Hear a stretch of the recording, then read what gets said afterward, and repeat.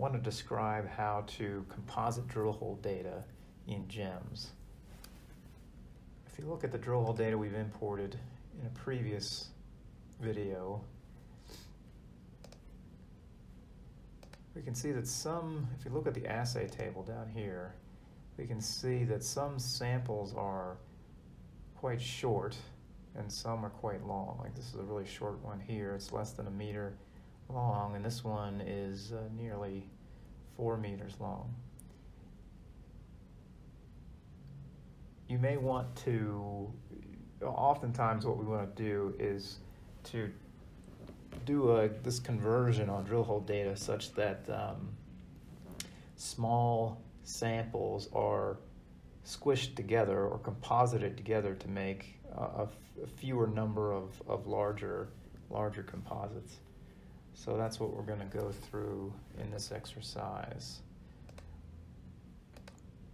First thing we need to do is we're going to build a, another table in this drill hole database to hold those composited intervals. So to get that done, we're going to go up to Workspace, Create or Modify Workspace to bring us into this window here. And I'm going to click on this Open button and select the uh, database, DHDB, that I want to work in. So we can see it's got these three tables, header, survey, assay. I'm going to hit tab a couple times to add a new table, and I'm going to call it comp. That's going to be an interval table. Down here, I'm going to need to add some fields. So I got the whole idea of the from and the to, but I need a place to store the composited grade values. I'm going to make that a, select a real field type so that I can store um, numbers with decimal places in them. Then I'm going to add two new ones, and these are these are specifically defined already in GEM, so I can actually select uh, from what I wanted to want to do, select the field name from this list of key keywords. I'm going to select comp ID, and this comp ID it needs to be of type string. And then I need a length field, and this one can be just a, a real value as well. I, I, I like to type it in, but you just select from this drop-down list. Okay, so I'm going to click Save.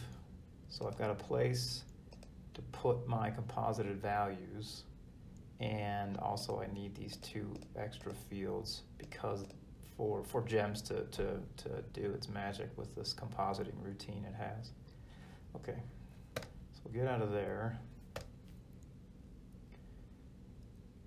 All right, now we got to follow a couple steps, and they're all pretty well organized underneath this drill hole menu item under compositing. We're going to do this one, we're going to come back and do this one, and then come back and do this one.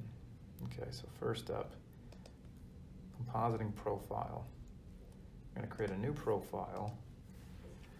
I'm just to call this uh, drill hole grade. Let's do that and then fill out this information. So I want to work, use this workspace. So it's this, again, it's this drill hole database we have, DHDB.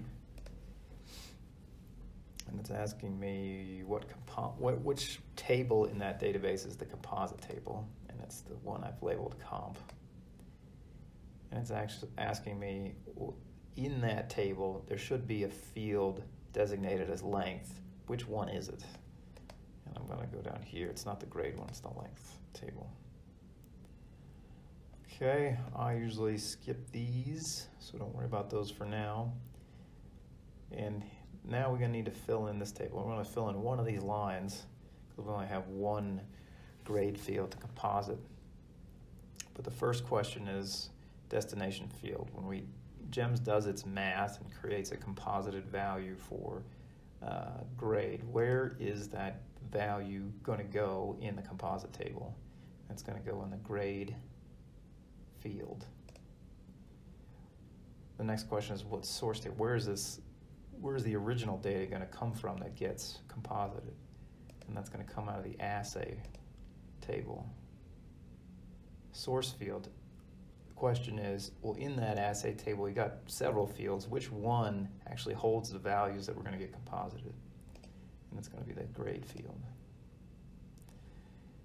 And that should do it for now. Click OK. So now I've got this profile um, set up that lets GEMS know where the composited values start and then where should, should they be put once they're once they've been calculated. So now for the next step, we'll go to drill hole compositing. We just did this one. Now we're going to prepare the composite table. Select which workspace. I'm going to use all the holes. So select table for composites. Where are the composites going to go? They're going to go in the comp table. Now, in this one, it's there's different ways of chopping up the intervals, and um, I am almost always using this one, equal length option. So what I'm going to do is effectively what I'm saying is we're going to take each drill hole, we're going to break it up into uniform lengths and composite based on those intervals. And the composite length I'm going to use, you know, deciding this is outside the scope of this video, but somewhere I've outside of this I've had a discussion with uh, with other people and myself to say determine what what composite length we want to use, and we're just going to use in this case 10. I'm going to accept all these default settings and not worry about them. Click OK. Okay, so I'm gonna go to, just to prove that actually did something, let's go to, I'm gonna right click on hole database and edit data so we can see this view. Got this composite table here, which we added, and I wanna just show that because of that last routine we did, it filled part of this table in. It gave me a bunch of intervals that are uniformly 10 meters long. Now I've got a place to hold grade values and length values, but they have not yet been filled in, and that's automatically populated this comp ID field. So this, based on that last exercise, we've created this table and partially filled it in but we need to then instruct GEMS to fill in these two columns here. So we'll get out of this, go back up to drill hole, go back down to compositing. So we've done this, we've done this, now calculate composites. And again, go through the exercise. Well, which workspace are we working with? It's like that one.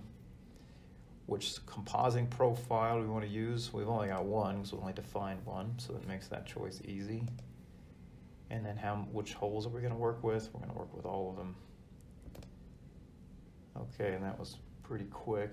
I'm going to go back to the this view of the drill hole database. Go to the comps table, and now we can see that some of these values are now filled in. I get a lot of NC or no composite values as well. And that's really because in this hole, the assays were only taken for really only between 84 and 102 meters. Um, the rest of the hole is left unsampled. So for that reason, our composites are blank in those regions.